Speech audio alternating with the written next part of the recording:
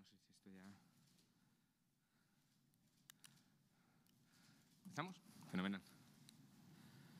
Muy bien. Pues muy buenos días y gracias por su atención en este acto en el que presentamos la programación cultural correspondiente al mes de marzo de la Red de Centros Culturales de la Junta de Castilla y León. Una nueva programación con la que queremos seguir impulsando la red de centros culturales de la comunidad y potenciando su actividad cultural con el objetivo de mantener una amplia oferta a disposición de los ciudadanos. En este sentido, quiero destacar el esfuerzo realizado por la red de centros de gestión autonómica durante 2020 y también en estos primeros meses de 2021, lo que nos ha permitido mantener la actividad, reprogramar y adaptar en breve tiempo las programaciones a formatos digitales y online que están cubriendo en la actualidad el acceso de los ciudadanos a una cultura segura y de calidad. Un modelo que en este momento avanza en un entorno digital y que debemos fortalecer con el apoyo de los ciudadanos, quienes cada día muestran su fidelidad hacia estas instituciones culturales a través de la interacción y el seguimiento de sus actividades en los distintos canales de comunicación, redes sociales y plataformas online. Así lo estamos viendo reflejado con la retransmisión por streaming de los últimos conciertos de abono de la Orquesta Sinfónica de Castilla y León, que fueron seguidos en directo y en diferido por 4.600 personas, recibiendo además multitud de comentarios positivos desde diferentes países del mundo. Por ello, y pese a las dificultades que genera la crisis sanitaria, nuestro objetivo es continuar trabajando en nuevas iniciativas y propuestas para que la cultura siga estando muy presente en las vidas de los castellanos y leoneses un esfuerzo del que participan el conjunto de las instituciones y agentes de la cultura de la comunidad y que ha merecido el reconocimiento y la valoración positiva de profesionales y expertos del sector de nuestro país, reflejados en el último informe del Observatorio de la Cultura 2020, publicado recientemente, y que sitúa a nuestra comunidad en los primeros puestos a nivel nacional de este barómetro cultural, solo por detrás de comunidades como Madrid, Cataluña, Andalucía y País Vasco. En el mes de marzo, la programación cultural de la red de centros ofrece un total de 646 actividades que, a tenor de la situación actual, en su mayoría se podrán disfrutar en formato streaming, en los perfiles de redes sociales y a través de los seis canales activos en YouTube de Cultura Castilla y León.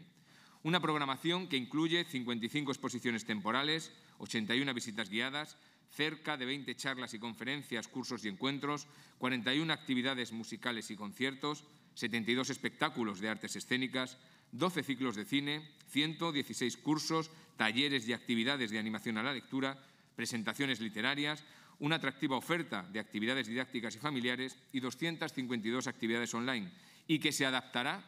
en todo momento, como así venimos haciendo, a las condiciones que imponga la evolución de la pandemia. Un sólido proyecto que sigue creciendo y al que se incorporan cada mes nuevas instituciones que contribuyen a potenciar la creación cultural y la formación artística en nuestra comunidad. En este sentido, y como novedad, la Escuela Profesional de Danza de Castilla y León emitirá online la gala de danza, que mostrará el talento de los jóvenes alumnos que finalizan su formación como bailarines profesionales de esta escuela. En el ámbito de la música, el Conservatorio Superior de Música de Castilla y León continuará su labor pedagógica en la formación musical de nuevos públicos a través de nueve conciertos que podrán seguir por streaming los alumnos de los centros educativos de la comunidad. También, en esta amplia agenda cultural que hoy presentamos, las artes escénicas adquieren protagonismo a través de la Red de Teatros de Castilla y León y la Red de Circuitos Escénicos de la Comunidad. Ambas redes van a desplegar una cuidada selección de espectáculos por todo nuestro territorio en colaboración con las administraciones locales y como parte esencial de la vida cultural de nuestras ciudades y pueblos. Este mes de marzo, la Red de Teatros de Castilla y León ha programado 53 espectáculos con la participación de las principales compañías de artes escénicas de la comunidad y que se complementa con la red de circuitos escénicos, que llevará 17 representaciones de teatro y otras artes escénicas a distintos municipios del medio rural. Este programa estará sujeto a posibles variaciones, como comentaba anteriormente, en función de las decisiones adoptadas por las autoridades sanitarias y siempre que la evolución de los indicadores epidemiológicos así lo permita. La programación de los museos regionales y provinciales incorpora diferentes propuestas para acercar sus exposiciones y colecciones a los ciudadanos en formato online.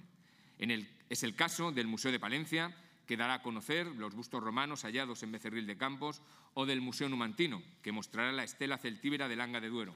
En Burgos, el Museo de la Evolución Humana avanza de forma decidida en la búsqueda de una educación de calidad a través de un programa educativo ejemplar que llega online a alumnos de primaria, secundaria y bachillerato con resultados muy positivos y que queremos extender a otros centros culturales y eventos de la comunidad. Un programa al que también se une una variada agenda cultural que incluye conversaciones y encuentros en línea con escritores como Gonzalo Giner, Carlos Castán, Marta Robles, así como música de grupos emergentes como Lala Love You o Mario Andreu, entre otros. En León, tanto el Museo de Arte Contemporáneo de Castilla y León como el Museo de la Siderurgia y la Minería de Sabero y en Segovia, el Centro de Innovación Palacio Quintanar, seguirán mostrando su actividad cultural a través de los canales online de estos equipamientos, con visitas a las exposiciones que ofrecen actualmente. En Zamora, dentro de su actividad cultural, el Museo Etnográfico de Castilla y León ofrecerá por streaming el recital poético Son Ecos de Pasión, que evocará la Semana Santa zamorana de la mano de Rubén Santa María Cabanas.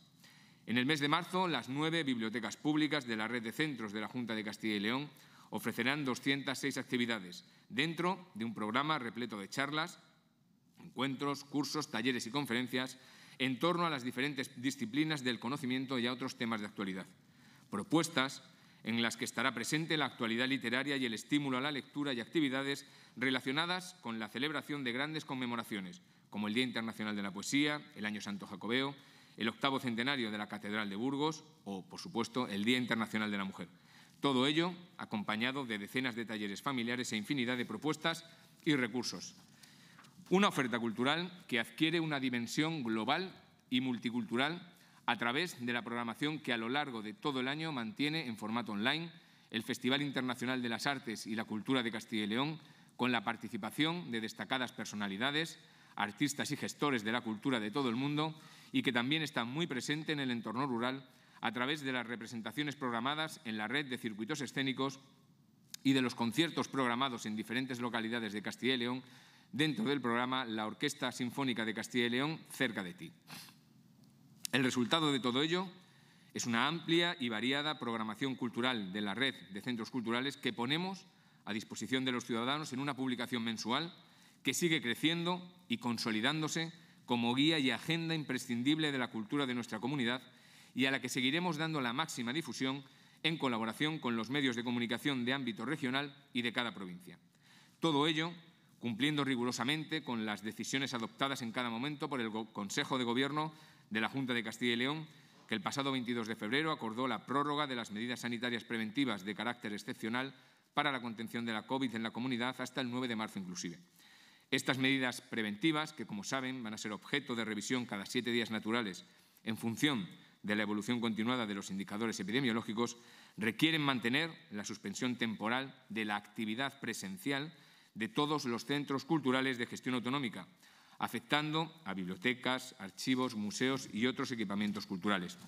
Una decisión que, como ya anunciamos en el mes de febrero,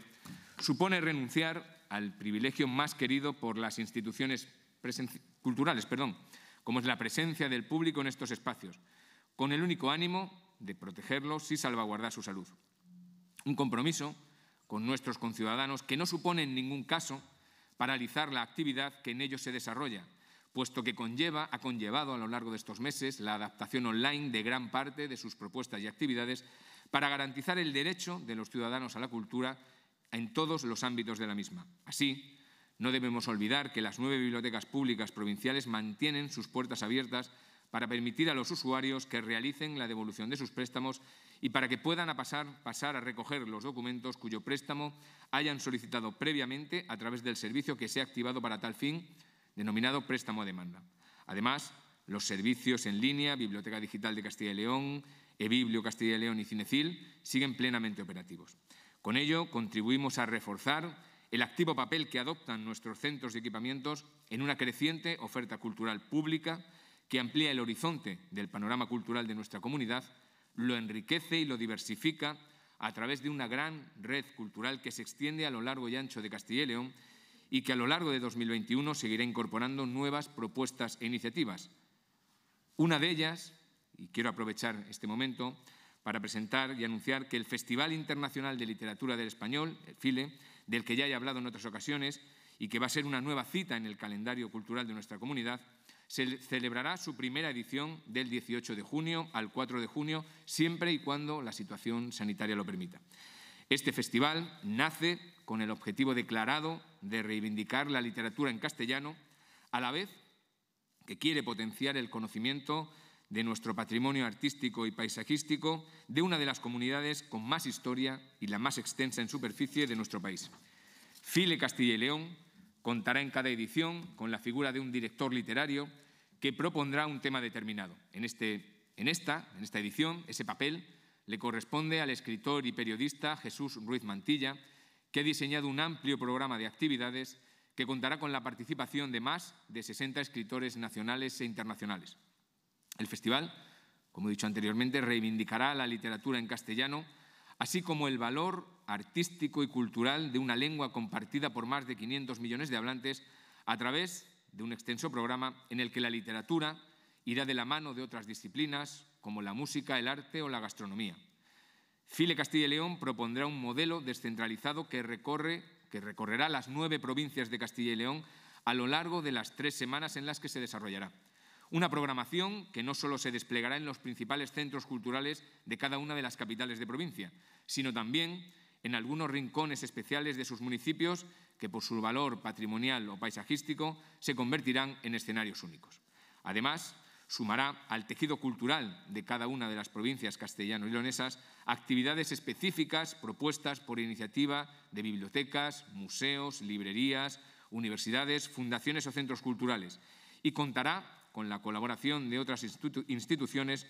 como el Instituto Castellano y Leones de la Lengua, la Fundación Jorge Guillén, la Fundación Miguel Delibes o los gremios del mundo del libro, de editores y libreros. El tema central del festival de esta edición será del origen al mestizaje en Castilla y León,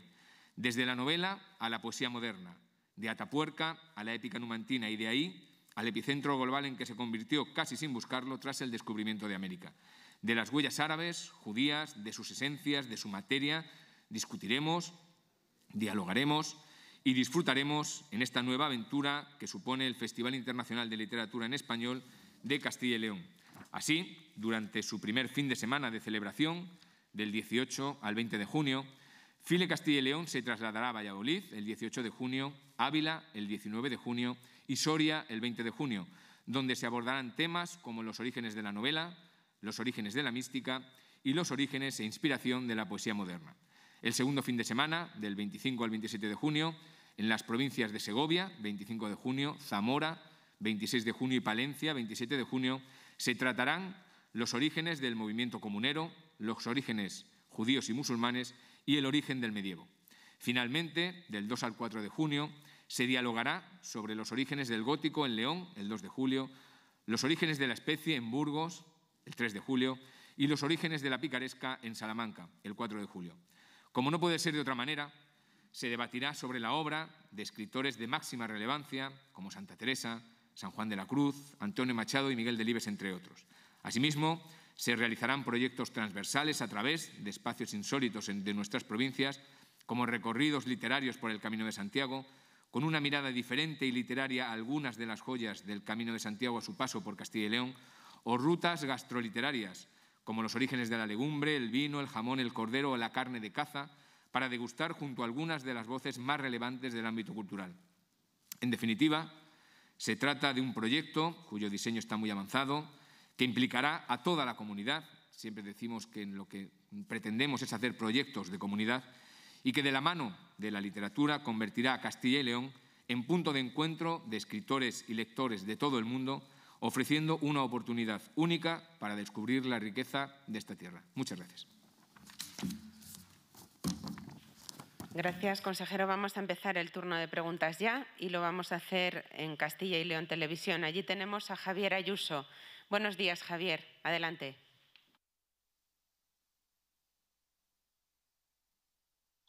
Ahora. Eh, bueno, buenos días. Eh, me gustaría saber Em, ¿Cómo está el tema de las puertas de la Catedral de Burgos? Si el cabildo de la Catedral se ha dirigido a ustedes para pedir permiso y en caso de haberlo hecho, si es para el exterior o para el interior, como, como indicó ayer en esta casa eh, el, obispo auxiliar eh, Argüello. Y en caso de, que se haya dado permiso, ¿cuál es la opinión del consejero sobre este, este, bueno, esta polémica debido a, a, que es el, centenario, aniversario centenario de, la catedral? Y bueno, en último lugar, es, es usted quien, quien tiene que validar estas, estas puertas. Muchas gracias. Gracias, Javier. Bueno, la verdad es que si tuviese que validar yo las puertas, estaría ahora mismo en un tema, sí que tendría, tendría entonces una, una, polémica importante, ¿no? Pero no sé si por, por, suerte o por desgracia, el que tiene que validar las, las, puertas, no las puertas, sino el proyecto, es una comisión técnica, es la Comisión Regional de Patrimonio y otra comisión en este caso, otros informes técnicos como son los de la UNESCO. Como bien has eh, dicho, Javier, este es un proyecto, el de las puertas de la catedral, que ha generado polémica, pero yo creo que como, todo en esta vida, hay proyectos a lo largo de la historia, los hemos visto, eh, que generan polémica, que generan cierto conflicto. Yo siempre he dicho que la vida es conflicto y que para ello están las instituciones y los medios que tienen eh, que ponerles remedio y solución. Nosotros desde, desde el principio hemos hecho declaraciones, puedo remitir a las que hemos hecho en julio, ayer el propio vicepresidente hizo también declaraciones en este sentido y hemos dicho lo de siempre, que estaríamos a lo que dijesen tanto eh, los organismos internacionales como la UNESCO como la Comisión Regional de Patrimonio, que es el organismo técnico que dictamina sobre todo este tipo de cuestiones. Aquí no hay cuestiones políticas, no hay cuestiones, me preguntabas eh, si mi opinión, esto no es si me gusta más, si me gusta menos, si son más bonitas o más feas, al final eh, un bien, como es patrimonio de la humanidad, tiene eh, sus, sus, derechos, pero también tiene sus obligaciones, está sujeto a una legislación y a unas normas, y hay unos organismos técnicos que tienen que dictaminar eh, sobre ello, en este caso la UNESCO y, por supuesto, la Comisión Regional. Y estaremos, como no puede ser de otra manera, a lo que digan, a lo que digan estos organismos. La siguiente persona en hacer su pregunta va a ser Laura Macías, de Radio Nacional de España. Laura, cuando quieras.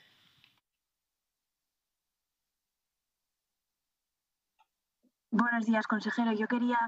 eh, insistir en la pregunta que le acaba de hacer mi compañero, ver si podría detallarnos un poco en qué sentido va a ir ese informe de la Junta. Y por otro lado, eh, ya que está a la vuelta de, la esquina el, 8 de marzo, el Internacional de la Mujer, si podría destacar alguna de las actividades dentro del programa eh, sobre, sobre este día tan señalado. Gracias.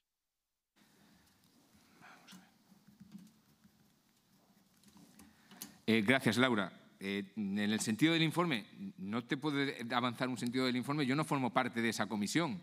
el sentido del informe irá en lo que valoren los técnicos en su momento a la luz tanto del proyecto como de los diferentes informes técnicos que haya en relación con él, las diferentes propuestas de mejora, lo que haya dicho la UNESCO a través de, de ICOMOS y, demás. O sea, no, no, te puedo avanzar en ningún sentido del informe porque, como te digo, yo no formo parte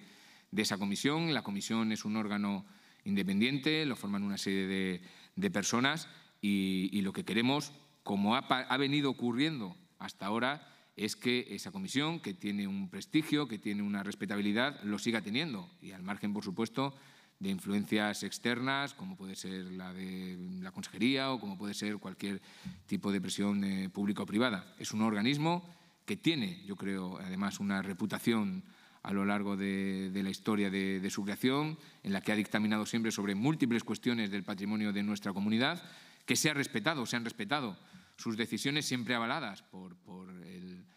los criterios científicos y técnicos y estaremos, como, te digo, Laura, a lo, que, a lo que diga esta comisión. Y en relación con el 8 de marzo, pues eh, evidentemente para nosotros es un día importante. Estamos hablando de, reivindicar la igualdad, la igualdad entre hombres y mujeres. El año pasado, como sabes, tuvimos una, actividad en el Centro Cultural Miguel Delibes en el que presentamos eh, la obra de una, de una compositora eh, que además eh, me acuerdo que fue el sábado, un sábado por la mañana, el, mismo día, y que, y que tuvo muy buena acogida, porque además era esa compositora olvidada. Este año están abiertas múltiples eh, propuestas, eh, están abiertas tanto desde, nuestras bibliotecas como desde nuestros centros, como desde la propia Fundación, y en su momento las pondrán a, su disposición para que todo el mundo pueda disfrutar de ellas, entendiendo sobre todo que el objetivo de todas estas iniciativas y de todas estas propuestas culturales es reivindicar el papel de la mujer a lo largo de la historia en sus múltiples manifestaciones y sobre todo, sobre todo, abogar por una igualdad plena en derechos, en deberes, en obligaciones, en remuneración, en fin, en todas aquellas cuestiones que sabemos que aún están, pendientes, están sobre la mesa y que somos, como, como hemos demostrado en muchas ocasiones, eh, firmes defensores de ellas. Como muchas otras mañanas nos sigue desde la agencia Europa Press Sonia Díaz. Así que, Sonia, cuando quieras, adelante. Sí, hola, buenos días, consejero. Eh, lo primero que quería preguntarle era sobre el festival FILE que, que, acaba de anunciar. Quería saber, en el caso de que la pandemia continúe como hasta ahora y no se puedan realizar actos presenciales, si ya han pensado cómo adaptar este festival y si nos podía detallar un poco el presupuesto en el que trabaja la Junta para sacarlo adelante. Y otra de las cuestiones que le quería plantear era sobre Semana Santa. Ayer el vicepresidente dijo que, que su intención en este sentido era intentar hacer como si no hubiera Semana Santa para evitar contagios. Desde el ámbito cultural, no sé si cómo, cómo ven esta postura del vicepresidente y si plantean alguna cuestión cultural de cara a estas fechas religiosas. Muchas gracias. Gracias a ti, Sonia. Pues eh, mira, File tiene un presupuesto de unos 350.000 euros para, para, esta edición, en el que, como te he dicho, pues hay multitud de, de iniciativas, iniciativas sobre todo centradas en la literatura, en el español, Dijimos al inicio de la legislatura que para nosotros el español era uno de nuestros objetivos estratégicos, no solo como recurso cultural, sino también como recurso turístico y también como recurso económico. Con lo cual, perdón, pensamos que esta iniciativa, esta iniciativa de este Festival Internacional de Literatura puede suponer realmente la reivindicación de ese, de ese instrumento común que utilizamos muchos millones de personas de ese instrumento común que además no lo utilizamos para separar, sino sobre todo para unir, porque pensamos que las lenguas, más allá de lo que puedan suponer, si sirven para algo es para unir, para transmitir conocimientos, experiencia, para transmitir cariño y amor, si se me permite la expresión, más allá de que alguien la pueda utilizar para dividir a través de, de palabras como, como, odio. Nosotros somos firmes defensores de la lengua como instrumento de unión y de enriquecimiento de experiencias culturales y creativas. De ahí, precisamente, la propuesta de este festival internacional. Evidentemente, si la pandemia eh, sigue causando estragos en esas fechas, esperamos, deseamos, anhelamos que no sea así, porque además de todas las medidas preventivas, restricciones y demás, contamos ya con la vacuna. Sabemos que se está vacunando. Nos gustaría que el ritmo fuese superior, pero para ello necesitamos vacunas. Pero esperamos que para esas fechas haya un tanto por ciento de la población eh, bastante elevado que esté ya inmunizada y que se pueda desarrollar en condiciones, voy a decir eh, normales entre comillas, pero sí que se pueda desarrollar con todas las garantías eh, sanitarias eh, que nos permitan salvaguardar la salud de los ciudadanos. Si es así, pues estaremos encantados. Pero si no es así, como hemos hecho desde marzo del año pasado, intentaremos adaptar todas aquellas actividades que podamos hacer en el ámbito digital. Si tenemos que hacer con aforos más reducidos, lo haremos con aforos más reducidos. Siempre, siempre, siempre, como hemos hecho hasta ahora, siguiendo las indicaciones de las autoridades sanitarias para, para salvaguardar el fin principal, ¿no? que es la vida y la seguridad de los ciudadanos. Pero como, como te digo, Sonia, esperamos y deseamos que, podamos celebrar este festival eh, en las mejores condiciones y sobre todo que, la pandemia, que, este maldito, virus pues nos, permita, nos permita realizarlo. En relación con la Semana Santa, eh, creo que como todas las declaraciones no siempre se les da vueltas y demás, y yo creo que el, vicepresidente dijo algo que, es bastante acertado, ¿no? El decir, bueno, esto es, es una Semana Santa como si no hubiera. Evidentemente, los días de Semana Santa están ahí. Y el vicepresidente, eh, en su ánimo está el que estos días no conlleven pues estas aglomeraciones, estos desfiles procesionales en el exterior, es que todos otra vez nos juntemos, todos estemos en la calle, pero evidentemente tanto la Semana Santa, los días, como el sentimiento de pasión que se vive en esta comunidad, que además es muy intenso, ¿no? y como, como todos sabemos, eh, y esas ganas también ¿no? de, entrar en las iglesias, de ver los, las distintas esculturas, los distintos pasos profesionales, o, de juntarnos, o algunos de, disfrutar también de algunos días de descanso, sabemos que están ahí. ¿Qué es lo que hemos propuesto nosotros desde la Consejería? Pues, pues desde la Consejería nos reunimos en su momento con las juntas de cofradías para precisamente decirles que a la vista de cuál era la situación que se vivía o que se podía vivir en esos días, lo que queríamos hacer era una Semana Santa diferente con ellos, porque además hay algo también es una de nuestras máximas a lo largo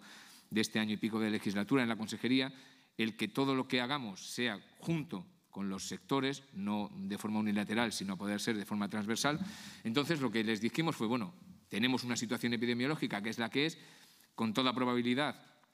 los días de Semana Santa vamos a tener una serie de restricciones que no, que no nos van a permitir realizar lo que tradicionalmente se viene realizando en Semana Santa, con todos los desfiles eh, profesionales y demás, con lo cual, bueno, vamos a hacer una Semana Santa diferente, una Semana Santa diferente en el que queríamos que las cofradías también nos dijesen qué cosas se podían hacer. Nosotros, pues desde, desde actividades en las iglesias o desde charlas, desde exposiciones, con los aforos eh, que hubiese que, tener, eh, con las medidas que tuviésemos que tener, que incluso pudiésemos incluso llevarlo más allá del periodo de la Semana Santa, del periodo estricto de Semana Santa, de estos días, ¿no? sino que incluso se pudiese alargar a lo, eh, largo del, año. Les dijimos además que, íbamos a mantener las, subvenciones y que íbamos a ampliar los conceptos justificativos porque evidentemente si no se puede hacer la actividad tal y como, como la venimos conociendo eh, y hay que hacer otro tipo de actividades, que esos gastos se pudiesen justificar de la misma manera, para ello, con lo cual tendríamos que,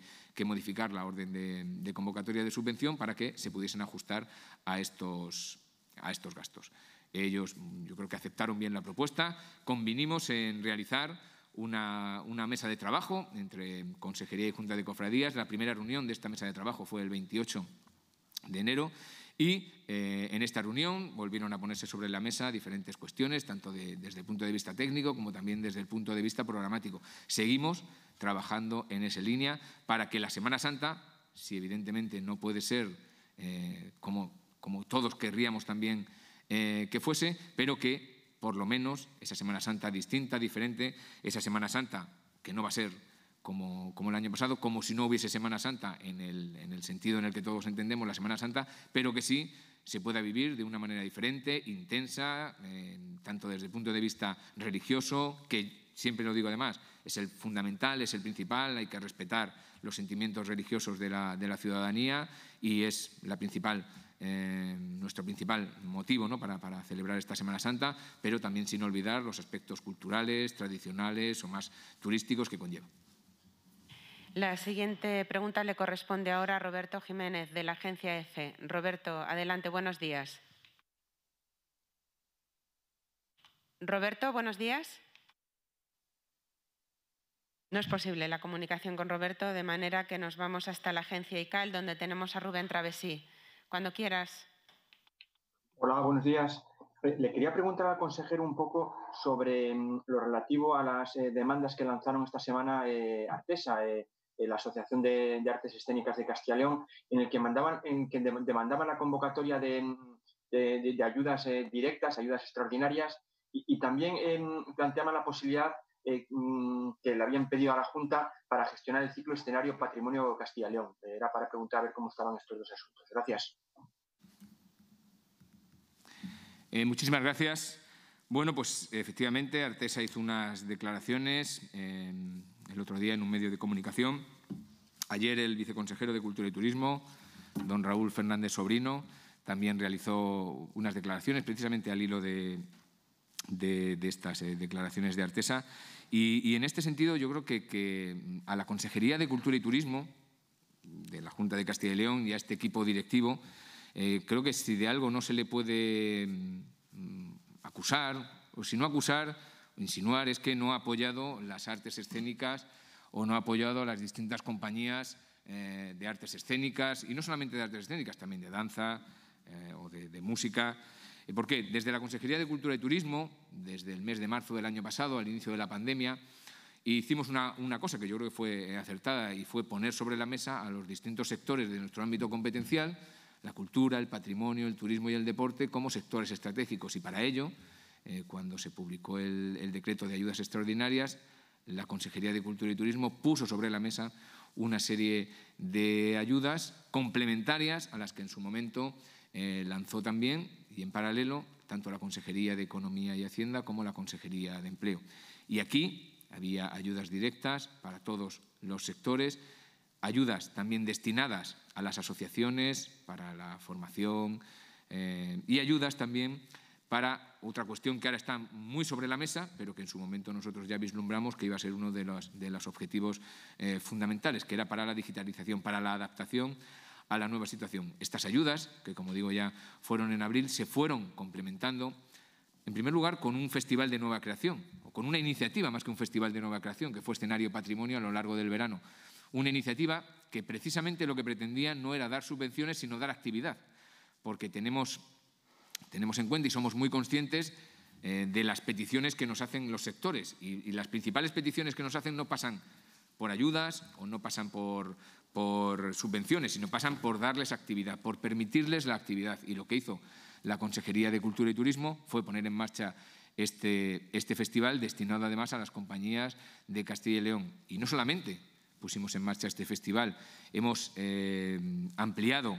el, montante económico para la convocatoria de festivales de nuestra comunidad. Eh, ayer o antes de ayer, creo recordar, se ha publicado la orden de convocatoria también de ayudas para la producción y gira a las compañías de artes escénicas en casi un millón de euros, es decir, que desde 2018 casi un 200, un 200 y pico por cien hemos aumentado la partida para, las, para las artes escénicas. Hemos creado ya este año ese festival de artes escénicas, que de una iniciativa que salió y vimos que salió muy bien, este año ya lo que hemos hecho ha sido consolidarla a lo largo del verano, va a tener todavía un importe de unos 400.000 euros para compañías de Castilla y León. Hemos cambiado también la normativa, hemos adelantado eh, eh, dinero, hemos cambiado los, eh, en, relación con las subvenciones, con las órdenes de subvenciones, que puedan tener un adelanto de lo que les corresponde por estas, por estas cantidades. incluso en el, terreno de, de, circuitos escénicos, como saben también, hemos cambiado las condiciones precisamente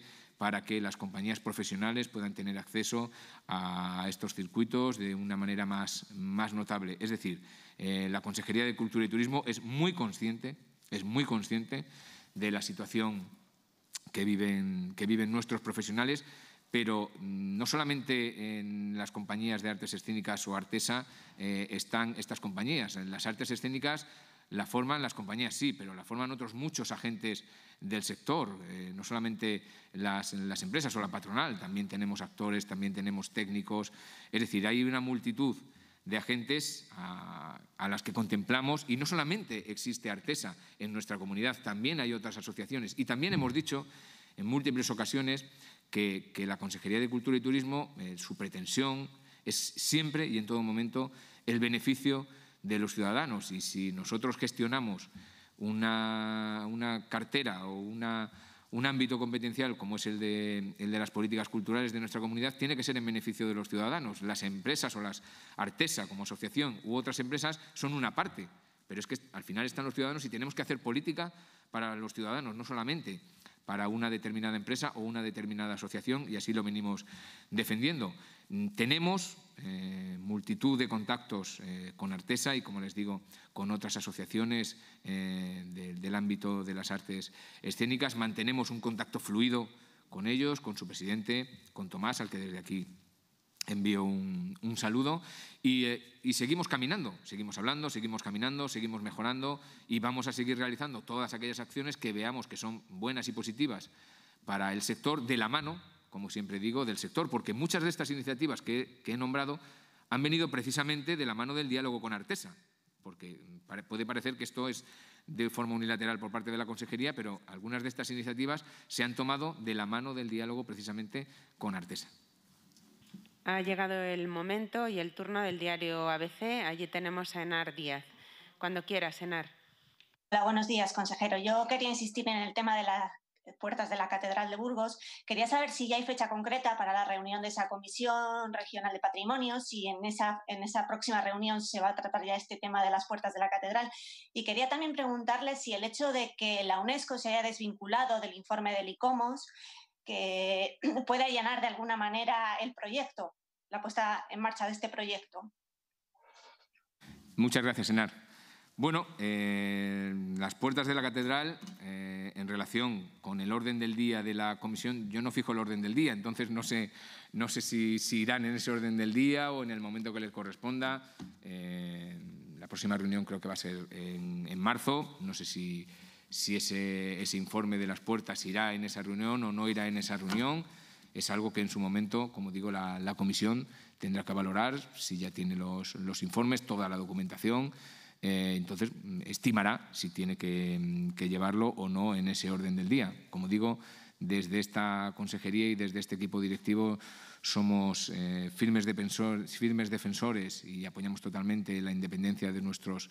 órganos técnicos, que son los que tienen la competencia para dictaminar en todo momento sobre estas cuestiones. Eh, sobre UNESCO y, e ICOMOS, bueno, no sé si llamarlo desvincularlo o no, sabemos a día de hoy que la UNESCO tiene una serie de comités asesores. Tiene por una parte ICOMOS, tiene por otra parte ICROM y tiene por otra parte UINC, me parece que es, que es en relación con el patrimonio cultural. Y son los organismos a los que, a su vez, ICOMOS eh, les pide eh, asesoría para determinadas cuestiones. Y en este caso, eh, UNESCO, a la luz de un proyecto, solicita información a ICOMOS, que a su vez realiza los informes y esto tiene un itinerario administrativo y documental en el que a través de, ese itinerario van pasando los informes solicitados y van llegando a los distintos destinatarios finales. No sé si, es, si esto es decir desvincularse o no, pero en principio, por lo que nosotros sabemos, a través de la UNESCO y del embajador español en, la UNESCO, ese informe se pasó al Ministerio de Cultura y del Ministerio de Cultura a través de la Dirección General de Bellas Artes al, al Cabildo de la Catedral. Ese es el itinerario y, ese es el conocimiento que hay. Entonces, no sé si, si es eh, realmente exacto o no decir eh, que se ha desvinculado, como digo, hasta donde, hasta donde sabemos, y COMOS es un organismo asesor de, de UNESCO. Nos quedan dos intervenciones, consejero. La primera de ellas nos lleva hasta la Gaceta de Salamanca, donde tenemos a Begoña Fernández Oribe. Begoña, buenos días. Hola, buenos días, consejero. Solo mm, dos cuestiones. No sé si se ha avanzado ya para eh, trabajar en la mesa del teatro, que es algo que comentó usted hace un mes. Y luego, en el caso del FILE, Salamanca, si llegamos al 4 de julio y podemos eh, reunirnos presencialmente, ¿en qué espacio tendría lugar el debate sobre los orígenes de la picaresca? Eh, gracias, Begoña. Eh, bueno, en relación con la primera pregunta y la reunión de la Mesa del Teatro, estamos ya convocando el Consejo de Políticas Culturales, porque es el, organismo del que, depende esta, mesa. Creo que ya hay fecha, no te sé decir ahora mismo la, fecha, pero creo que ya hay una, fecha de convocatoria de este, de este Consejo de Políticas Culturales en el que vamos a abordar tanto la cuestión de la Mesa del Teatro como otras cuestiones eh, que nos atañen en relación con la, gestión de las políticas culturales y del patrimonio de nuestra comunidad. Y efectivamente está contemplado que una vez que reunamos a este, a este Consejo eh, vayamos convocando sectorialmente las distintas eh, mesas que nos atañen. Y una de ellas es la mesa del teatro, que como sabemos hay varias cuestiones eh, sobre la mesa que abordaremos pues, con, el diálogo y con la, siempre con la voluntad de colaborar que creo que nos caracteriza en esta, en esta consejería y también bueno, por tomar una serie de decisiones siempre en colaboración con los, con los sectores, iba a decir afectados, no es afectados, sino son concernidos, me parece que es la, la palabra más, más idónea, eh, para, entre todos, siempre buscar las mejores soluciones que, que, beneficien, como siempre digo, a los sectores, pero sobre todo a los ciudadanos de la comunidad. Y en, en relación con el, con el Festival de, eh, de Salamanca, ojalá, y es como digo, es lo que queremos, eh, ojalá que, este festival lo podamos desarrollar de manera presencial, es lo que, todos este, queremos. Y, en esta sede del, FILE en Salamanca, eh, ahora mismo está todo el, equipo trabajando porque están realizando las gestiones con las distintas personas eh, a las que se va a invitar, con los distintos espacios. Ya he dicho que no solamente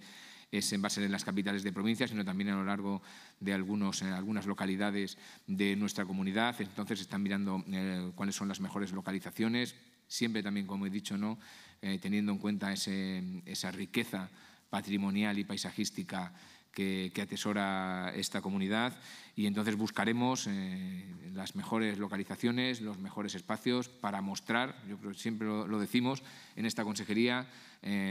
esto no deja de ser una, tarjeta, una tarjeta de invitación para todos aquellos ciudadanos, tanto los que vienen como los que nos ven a través de, redes o nos escuchan en, las radios o, en las televisiones, para invitarles a descubrir y a visitar esta comunidad. Y sin duda alguna, la lengua es uno de nuestros grandes recursos, lo que unido a la cultura, al patrimonio, a la música, al paisaje, pues creo que es una gran tarjeta de presentación y ellos se van a convertir en nuestros mejores embajadores. Pues vamos a cerrar el turno de preguntas eh, de hoy en el diario de Ávila. Beatriz Más, cuando quieras puedes preguntar ya. Eh, hola, buenos días. Eh, yo quería preguntar por el tema del Palacio de los Águila aquí. ¿Saber si han tenido algún contacto, alguna conversación con alguien del Ministerio de Cultura? Si les han, si les han tenido respuesta a su petición de reunión en general, ¿qué les parece que se pueda cambiar el, el destino de, este palacio y que no acoja el Palacio Provincial y el Museo Provincial. Y por otro lado, en cuanto al FILE, que llegará a Ávila el 19 de junio, si sabe con qué contenido será. Gracias.